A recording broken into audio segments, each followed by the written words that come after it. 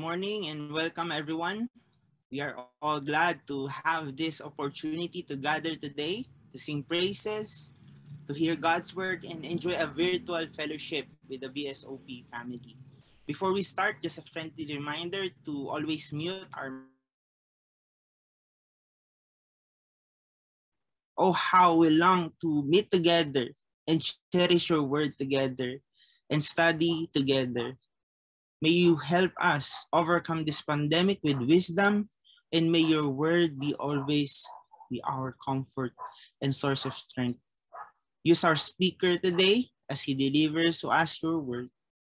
Also use the songs that we are about to sing to prepare us to hear your message. Please don't let us don't let the limitation of this platform distract us from hearing your word. We entrust to you the whole service. May the Holy Spirit give us understanding as we gaze upon the beauty of your word. In Jesus' name, amen. So let us give praise to our God by singing the hymn, uh, My worth is not in what I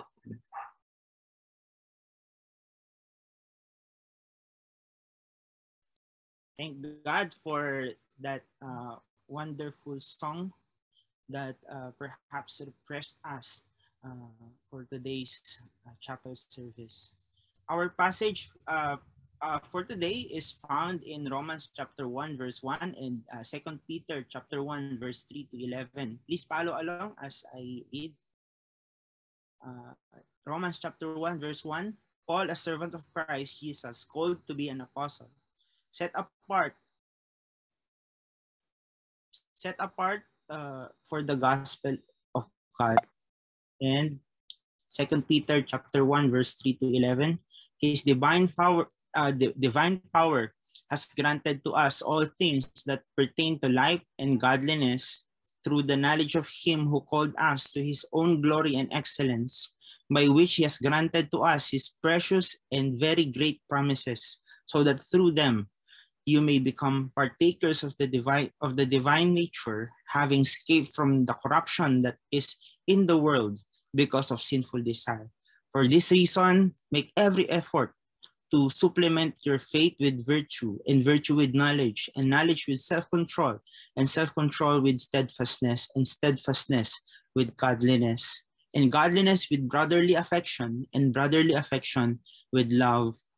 For if these qualities are, are yours and are increasing, they keep you from being ineffective and unfruitful in the knowledge of our Lord Jesus Christ. For whoever lacks these qualities is so nearsighted that he is blind, having forgotten that he was cleansed from his former sins. Therefore, brothers, be all the more diligent to confirm your calling and election. For if you practice these qualities, you will never fall. For in this way, there will be richly provided for you an entrance into the eternal kingdom of our Lord and Savior, Jesus Christ. The title of the, the message uh, is Sealed in His Calling. And our speaker for today is Pastor David C. King.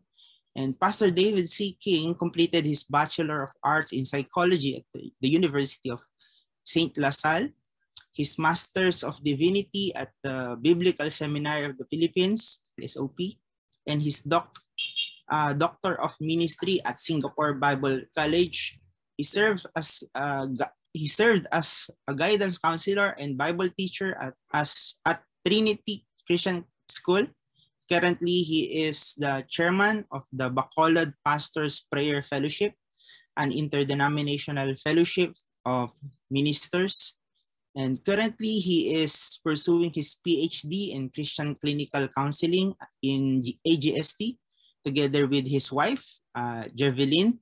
Uh, they served they serve as lead pastors of Trinity Christian Fellowship. They are blessed with two wonderful children, Daryl and Gadiel. And without further ado, let us all welcome Pastor Dave. Good morning. It's a joy to be able to fellowship with all of you. Um, almost half my life, my lifetime ago, I left BSOP and um, my heart was filled with excitement to serve the Lord.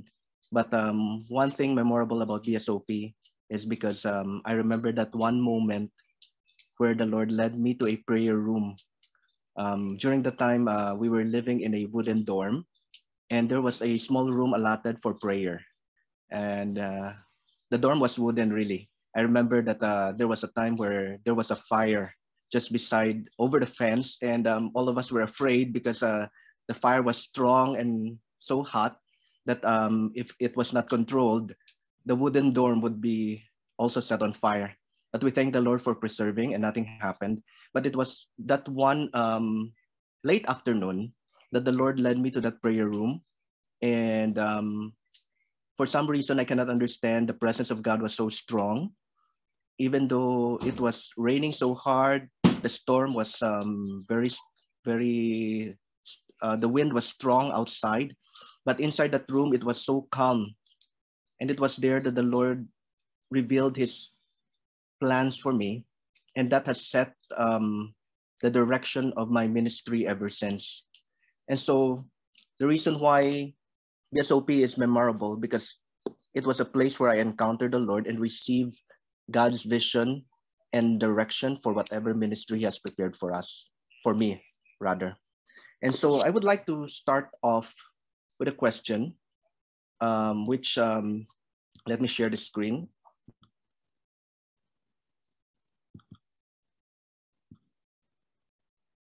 Okay, what distinguishes you as a person? In other words, how would you describe yourself if given the opportunity or the chance?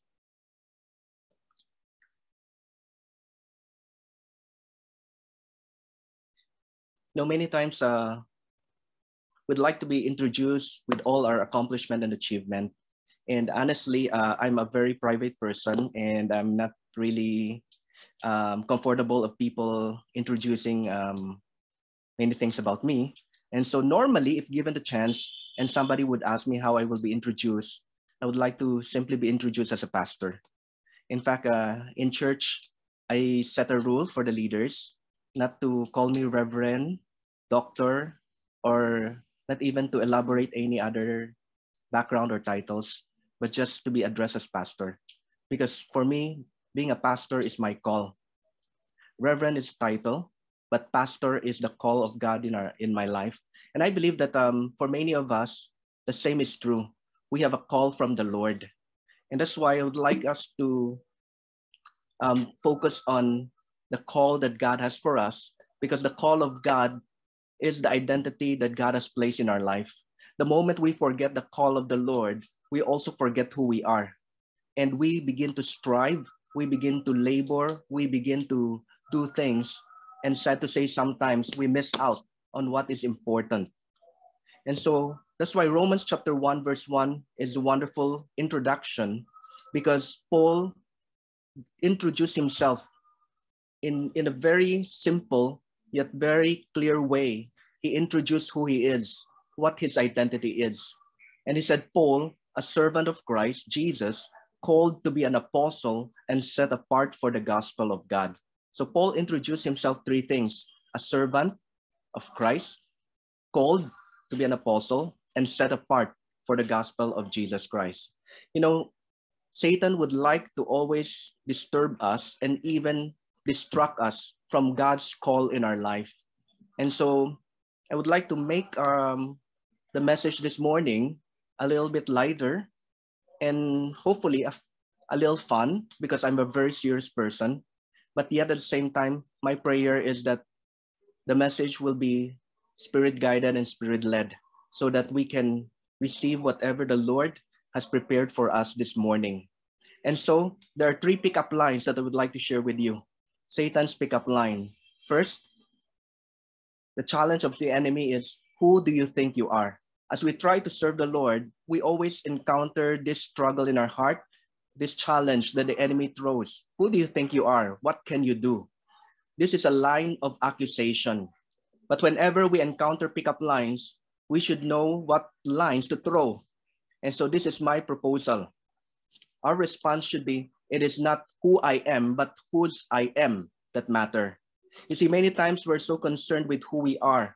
And who we are are rooted or are based on our degree, our accomplishment. You know, it's so sad because even here in Negros, whenever I visit um, pastors, especially in remote places, you know, it's there's no difference because whenever pastors who don't know each other would meet together, there are three questions that they would ask.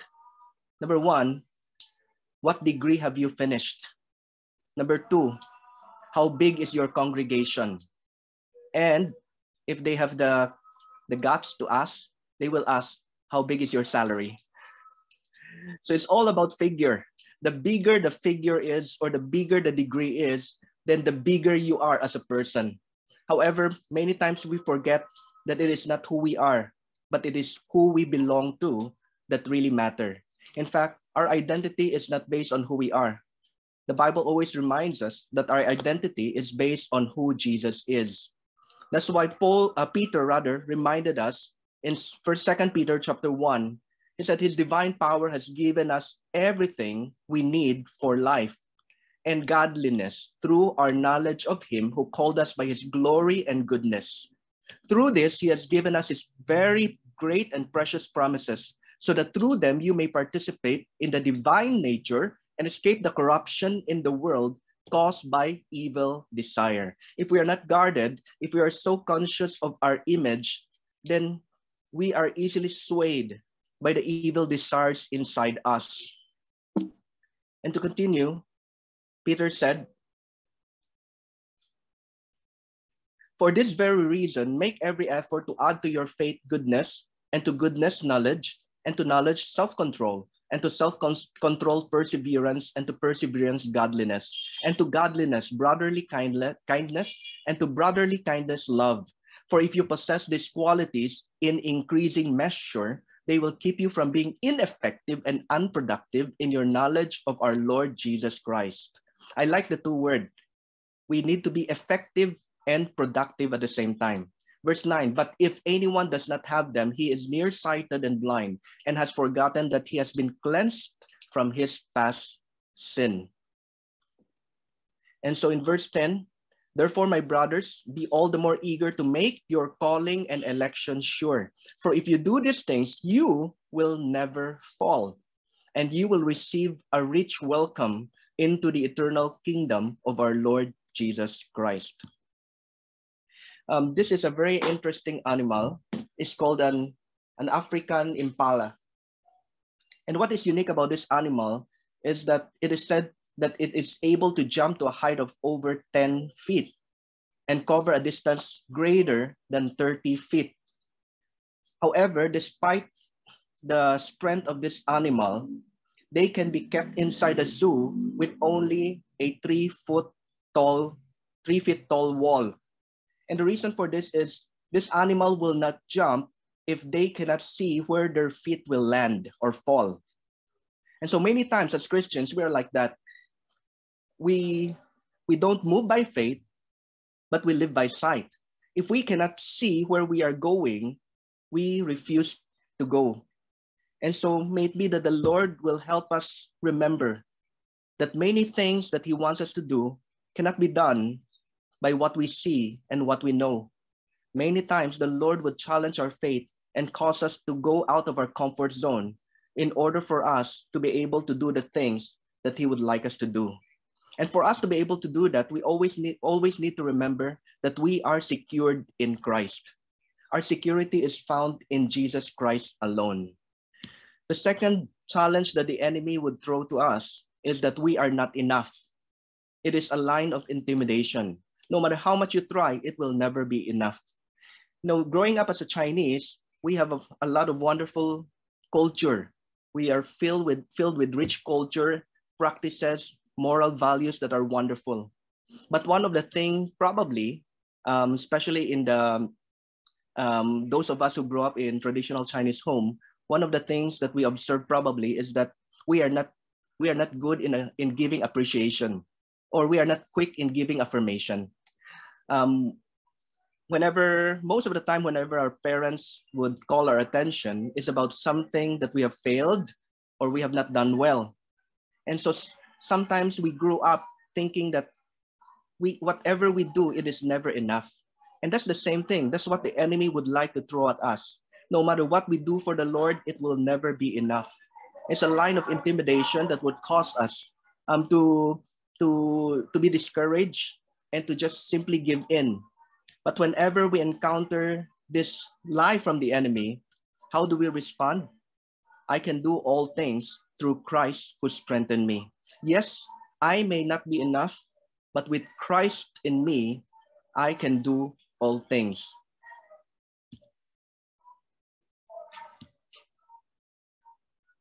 So have you heard of the following? A deaf composing great music.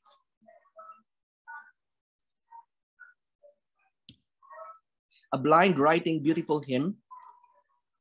A politician without, without arms and leg. Prisoners writing great literature and poems. Well, the truth is, all of them are real people. Handel wrote the best music after his doctor told him he was going to die. Beethoven made his after he became totally blind. Homer, Milton, and Dante, the world's three greatest poets, were blind. And so was the great hymn writer, Fanny Crosby.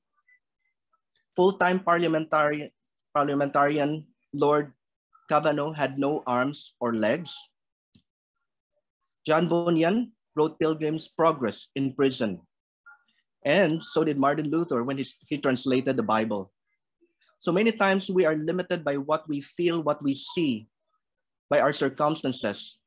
But we need to always remember that God can go beyond and do greater things than what limits us, than the circumstances that we are in. In Genesis chapter 1, verse 27, we are reminded that the Bible says God made man in his own image. In the image of God, he created him, male and female, he created them. I believe that this verse speaks more than just resemblance, but it talks something it talks about something so powerful that if only man did not fall into sin, his very presence is a threat to the enemy. You know, that's why Satan was was was so so passionate in wanting man to fall from the grace of God is because every time Satan looks at Adam, he is reminded of God and his and his um failure to, to, to usurp the throne of God. And so we are created in the image of God. And so we have the potential that God has given us. And sadly, because of the fall, we are very much limited and crippled. But the Bible tells us because of the redemption of Jesus Christ on the cross, he has empowered us.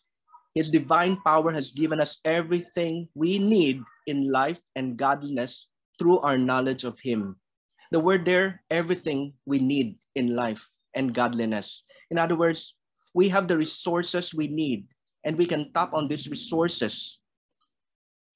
And sadly, many Christians have forgotten that they can always go to God and whatever they need will be supplied for because the God who called us to do his work will sufficiently empower us and equip us with whatever we need. And therefore, we need to guard ourselves. We need to guard ourselves from pride. Verse and, and instead think of the ministry and the calling of God as a privilege. You know, I like Paul because it was said that as Paul grows older, more experienced, and have accomplished greater things, he become more humble. He began by saying he is the worst of the sinners. And he began to say he is the least of the saint. And then finally he said, of all the apostles, he is the very least. And so we can see the progression that the more God used Paul, the more humble he become because he always remember that it is not his um his knowledge it is not his ability but it is always the grace of god that that, that, that was at work in his life. And so we need to always remember we are sufficient in jesus christ. On our own we are filled with limitations and weaknesses. On our own there are things that we cannot do or accomplish. But we always thank the lord because In him, we are sufficient. And the third pickup line, you are useless. This is a line of condemnation from the enemy. The enemy would like to always makes us think that we are useless. But whenever we encounter this line, we can respond by saying, I'm too blessed to be depressed. Know, people who feel useless can easily fall into depression because they feel wor- worthless. And that's exactly what the enemy would like us to think. We are worthless, we are useless. But God is with us. And as, as, the, as God's children, we are blessed beyond measure. And therefore, there's no room for us to give in to depression. Let me share a little of my testimony. After serving 10 years as associate pastor um, in the Chinese church in Bacolod Trinity Christian Church, uh, the Lord led me and my wife to focus on the daughter church, which during that time was a small congregation of around 50 to 60 people, primarily student. I think the 99% were student. And so it was a very challenging step of faith for us. And um, we decided um, so that there will be no conflict of interest, um, I decided to resign from the church in order to pastor this small, small congregation. Um, and on top of that, the Lord challenged us by, by, by speaking to us saying, if indeed you're serious in following me and my plans for you, there's one more thing I want you to do. I want you to cut off the reproach of Egypt. I was turning 40 during the time, and I remember that Moses um, have led the Israelite for so I Egypt, and the Lord was saying, I want you to give up whatever you are trusting and and and is holding you back from taking the step of faith. And after we prayed, my wife and I agreed it was our savings. So in, being in a Chinese church, you know, sometimes we receive ang paos and um, being Chinese, we like to save. And so we have saved uh, for the past 10 years through the ang paos um, in order to uh, prepare for the future of our children, their education one day, so on and so forth. And the Lord was telling us that is the very thing that you're holding on. It is the very thing that you will look back when times get tough. And so when you say you want to follow me by faith, then you have to be willing to give up whatever you are holding on to. It was a difficult challenge for us to do. But um, after much prayer, together with my wife, uh, we agreed to do that. In fact, the Lord gave my wife a dream. She dreamt that um, there was a coffin in front and our whole family was crying. And she was wondering who passed away in that dream. And so as she approached the coffin, it was a bit funny, but uh, interesting. Uh, she saw our passbook. So um, the, the amount that God wanted us to give up was in time deposit. And it's going to mature in a month or two. And so literally that Sunday, we gave our offering in the form of a passbook to the church. And um, only when it became mature, we encash it and turn it over to the church. But that was a very difficult moment because it was a step of faith and it means that it will leave us with nothing. In fact, when we share this with our children, our, our, our son was okay, but our daughter, who was six years old, asked a very interesting question. She said, Dad, Mom, where will we get money to buy our groceries tomorrow? And my wife looked at her and said, oh, God will provide. But of course, it was a step of faith. But we thank the Lord that God did amazing things. And um, the small congregation of around 50, 60 students, um, which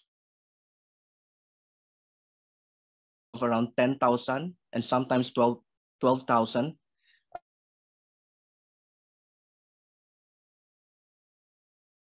The rental monthly was 15,000. So we were able to rent a small place to start the ministry to do equipping and training.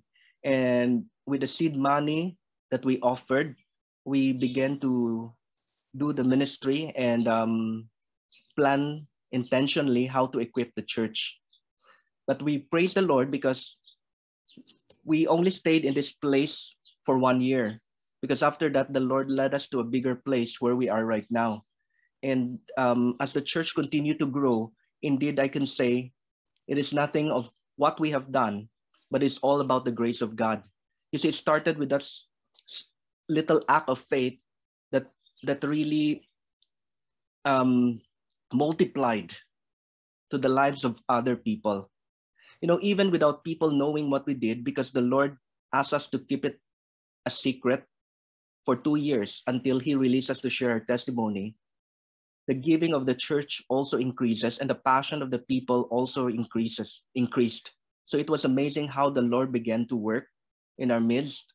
And um, even in the midst of this pandemic, we can see still see the Lord moving because without you know it's difficult actually to set goals right now as a church to say that by this time we want to have this number of people. By this time we want to have this number of life group.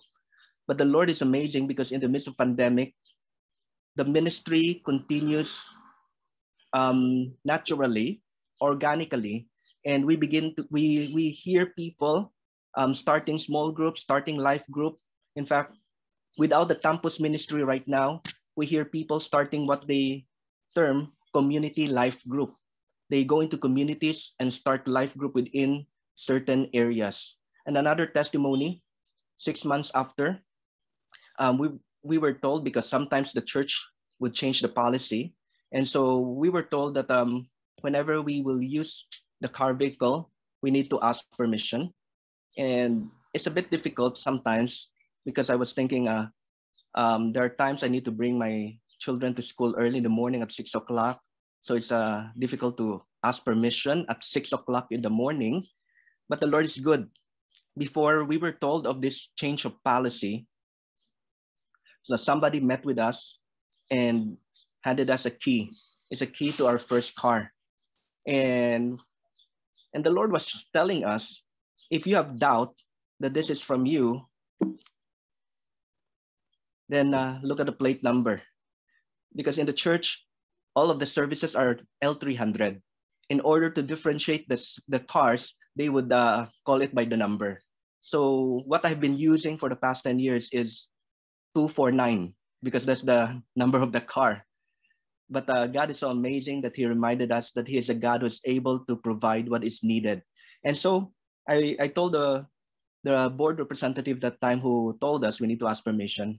I told I told them that uh, there I, I would like to ask a, uh, permission, but it's not about the using of the car.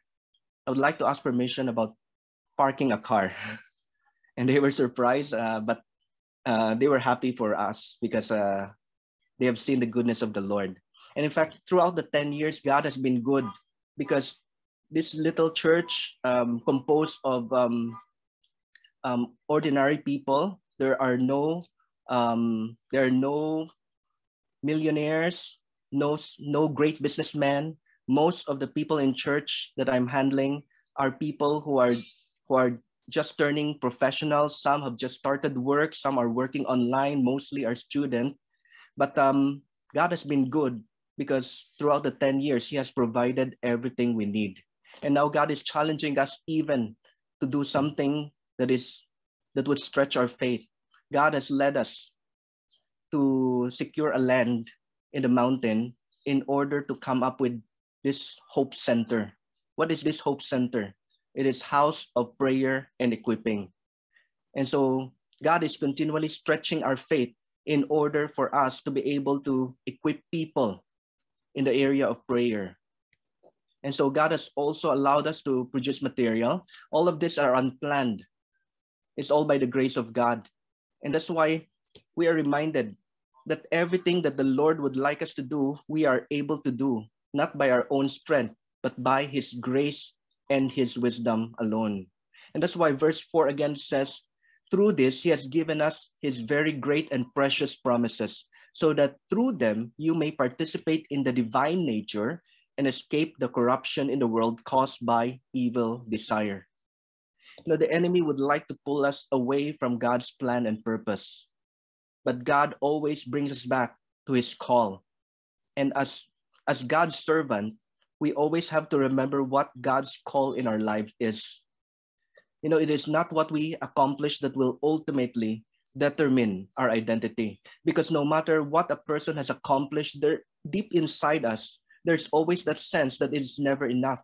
It's like you always have to do more. You always have to perform more. But when we know that our identity is rooted in Christ, then we know that we are serving an audience of one. Ultimately, people can give their comment because no matter how successful a person is, there will always be both positive and negative comment. But whenever we always, whenever we spend time with the Lord, we are always affirmed of who we are. More than just serving the Lord, being a servant of God, we are children of God. Sonship before servanthood. We are God's children, and we go to God not as slaves. We go to God as our Father who knows our need, who loves us, who cares for us, and who is able to supply everything we need. He is a God who doesn't assign us to do something and expect us to fail. He is a God who assigned us to do something and is excited for us to accomplish that by His grace and by His strength. And so Peter said, for this very reason, make every effort to add to your faith goodness, and to goodness knowledge, and to knowledge self-control, and to self-control perseverance, to perseverance godliness, and to godliness brotherly kindness, and to brotherly kindness love. Paul, Peter is saying, build on your character. Because if you possess these qualities in increasing measure, they will keep you from being ineffective and unproductive in your knowledge of our Lord Jesus Christ. When we lose sight of our character and instead focus on our credibility, then we begin to become ineffective and unproductive. One person said, when character is lost, everything is lost. And Paul said, and Peter said, but if anyone does not have them, he is nearsighted and blind and has forgotten that he has been cleansed from his past sin. And therefore, we need to guard ourselves. We build on our character rather than our credential. I recognize that credential is important. I said that I'm not comfortable being introduced with all the credential, but I realize there are times that it is necessary. Um, one time uh, when I went to the southern part um, of Negros to meet with the pastors, um, I was asked how, how should I be introduced? And I politely told them, I prefer to be introduced just a pastor who loved the Lord, who served the Lord, and who wants other to love him. And um, the person who was asking me also polite, politely told me, but frankly told me, um, Pastor, that's good. However, in our place, that would not bring the pastors in because they look after credential. And so I have no choice, but uh, I have to give in. You see, we're living in a world where people look at credential. But after all the credentials, at the end, what will keep our credibility as a pastor, as a servant of the Lord is our character. People ultimately will not follow us or will not measure us according to our credential. People will follow us and measure us according to our character. And we should exhibit the character of Christ in our life. So we need to remember that we are set apart. We are sanctified in Christ. So we are no longer the same person we were but we are now people whom God has called and set apart for his purpose. We are no longer living for ourselves. And I believe that as pastors and as God's servant, there will always be opportunities ahead. You know, when I decided to pastor this small church, you know, one of the person in my life that got so worried was my mom. We know, well, we know that um, people said that if you are a pastor in a Chinese church, then you're able to live comfortably, okay. But um, if you are not pastoring a Chinese church, then there will be much struggle going on. And so she was the first thing she asked me when I said uh, I'm resigning and I'm going to pastor this small church. The first thing she asked me is, "How will you feed your family?" But you know, after 10 years, uh, she has seen the goodness of God and the faithfulness of God, how God did miracles after miracles, how God has provided uh, one after the other. And there's so much miracles that it's it's um it's almost impossible to doubt the goodness of God and the faithfulness of God. You know, we have been set apart. And when the Lord set us apart, He also equipped us for what we need to do His work. And finally, the third pickup line Have I got a deal for you? It is a line of temptation. Satan would like to offer good things. And in fact, when Satan tried to tempt Jesus, he was not off tempting Jesus with bad things. He knows that Jesus was hungry. And so he tempted Jesus by turning the stone to bread. He tempted Jesus to become famous. He tempted Jesus to go the easy way. And so in the same way, Satan would like to offer us deals. You know, you want you want your dream to happen, you do this. Or he would bring in a better offer to distract us from the work of God. You know, so throughout the years of pastoring, there are offers that has been coming as well, and um, there are offers that would um, would um, uh, offers that is twice what I'm receiving, and recently three times what I'm receiving, and it's very tempting. You could always say we're still in the call of God, we're still pastoring anyway, but then I realized that to be in God's call means you have to be the right person in the right place in the right time. If we are not in the right place or in the place where God wants us to be, then we are not in the call of God. So, being sanctified and being set apart, our life is no longer our own.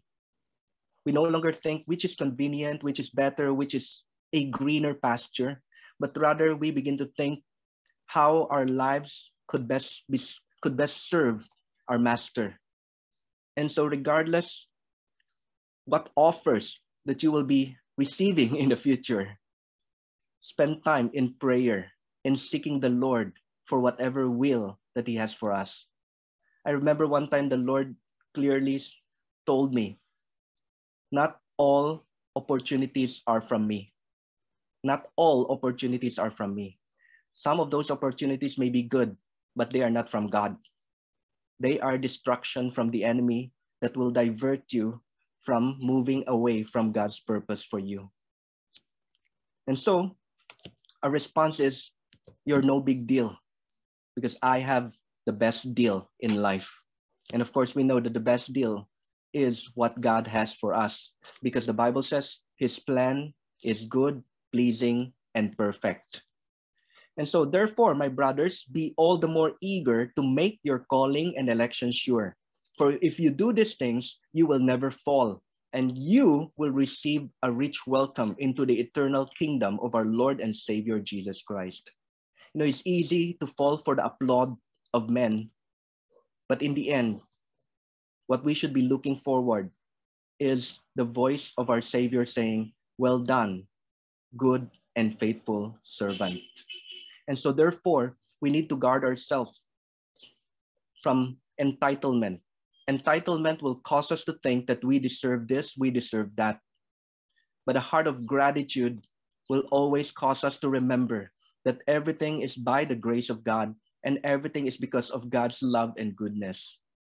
Know, I may not have accepted a bigger pay offer, but God has been good because He has supplied eh, us everything that we need and he and to walk by faith and not by sight sometimes can be frightening but it is a very exciting journey of knowing who god is for who he is so we may be doing the call but we may not be in the call. So it's something that we need to always guard ourselves from because at the end of everything we always remember that we are here serving the Lord, and it is the call of God in our lives that would sustain us, empower us, and allow us to fulfill and finish the race that God has given us. Let's pray. Lord, we come before your presence, O God, and we acknowledge our weaknesses and our limitation, O God. We know that there's so little that we can do and so much that we cannot do. we acknowledge that it is by your grace, your grace alone, that we can see your plans, your purposes, and your work accomplished through us and in our lives. And today, Lord, we come before you, O God, and we surrender ourselves to you. We thank you for the call that you have in our lives because this call is irrevocable. And we thank you because with this call comes privileges, but also comes the burden and the challenges that we need to face. And by your grace and your grace alone, sustain us so that at the end of our lives, we would hear your sweet voice telling us, Well done, good and faithful servant. May we work not for the applaud of men, but may we work for the glory of God. We thank you and may all, all glory be yours and yours alone. In Jesus' name, amen.